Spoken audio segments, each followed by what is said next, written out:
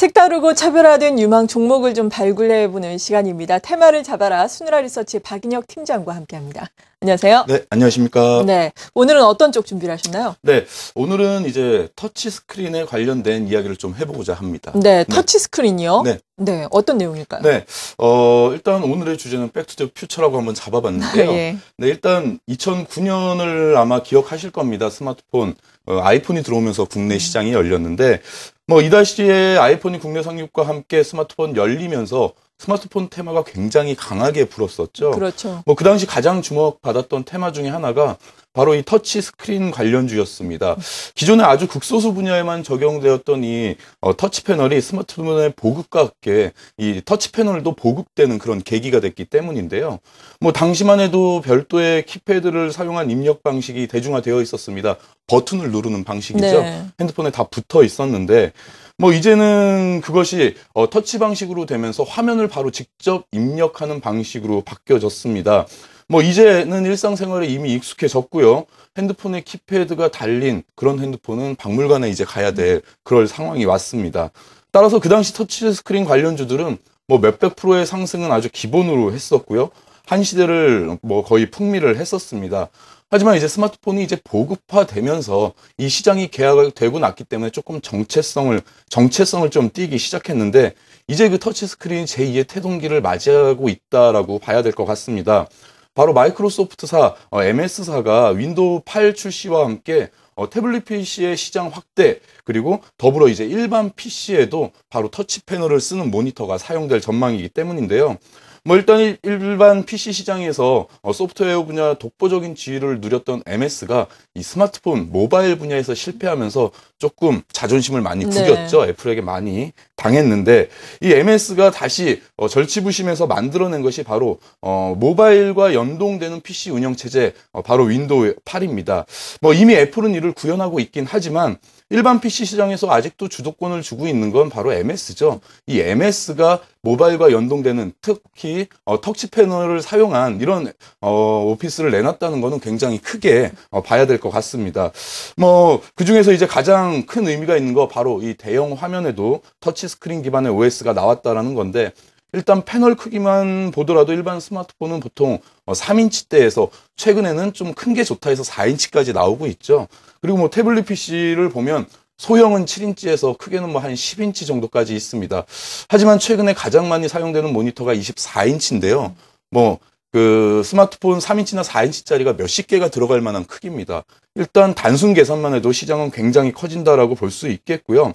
뭐 이에 따라서 최근 시장에서도 역시 관련주들 반응을 하고 있습니다. 뭐 일진 디스플레이라든가 에스맥, ELK, 멜파스 등의 터치 스크린 관련주들이 굉장히 큰 폭의 상승을 하고 있죠. 네, 정말 스마트폰이 말씀하신 것처럼 2009년에 애플을 통해서 처음으로 선보여졌을 때, 아, 정말 이것이 신세계다라는 느낌이 들었었거든요. 모바일 쪽에 패러다임의 시프트가 정말 이루어졌었는데, 그게 불과 한 3년 정도 전이라는 걸 생각해 본다면은, PC 시장에도 패러다임 시프트가 이루어지고, PC 시장도 급격하게 변화할 것이다라고 우리가 예상을 해볼 수가 있겠습니다. 최근에 애플을 비롯한 모바일 관련주의 주가는 양호한 반면에 PC 업체들은 상당히 부진한데요. 이것을 어느 정도 따라잡을 수 있을지 기대를 좀 해보면서 지켜보겠습니다. 그렇다면 관심 기업은 어떤 곳들이 될까요?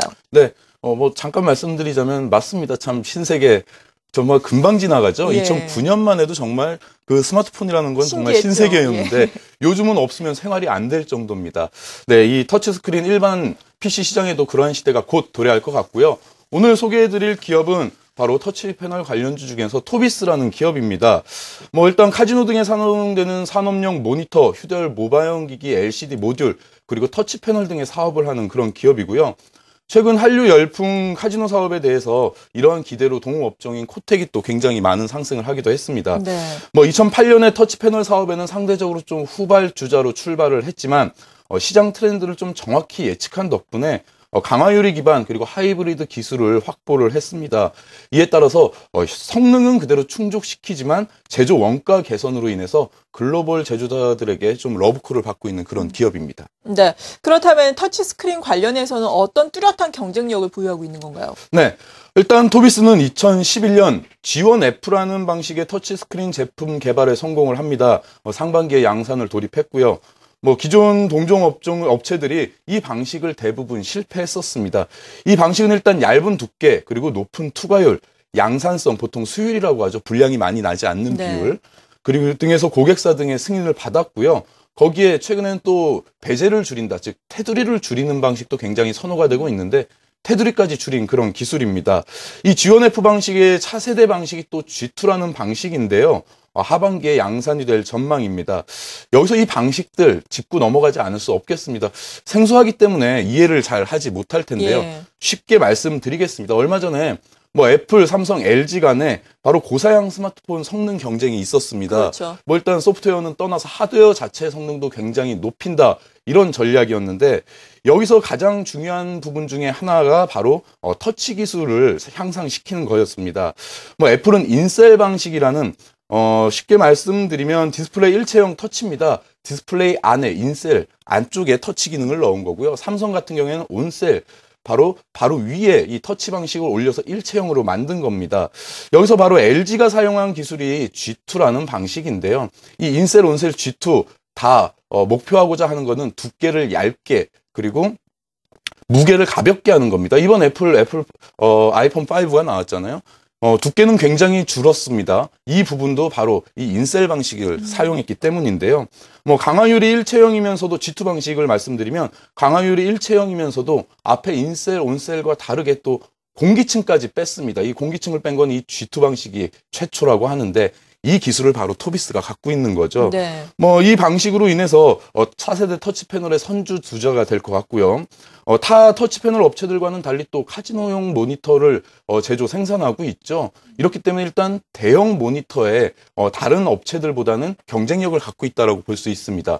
이 부분 시너지를 이용했을 때 이 터치 패널이 PC 일반 모니터에 적용됐을 때 토비스의 선전이 굉장히 기대되고 있습니다. 네. PC 모니터에 이러한 정말 기술이 접점이 된다면은 상당한 성장세가 예상이 되는데요. 지금 또 흥미로운 것을 말씀해 주신 것이 카지노 쪽 모니터예요. 카지노 관련주들 최근에 중국 어, 관광객들이 많이 오면서 또 상승을 하고 있는데 이와 관련해서 수혜를 받을 수도 있을 것 같은데요. 네, 맞습니다. 또 하나의 성장성이라고 예. 봐야 되겠죠. 앞에 잠깐 언급한 언급 드린 적이 있는데 최근 한류 연풍으로 국내 관광객이 굉장히 증가했습니다.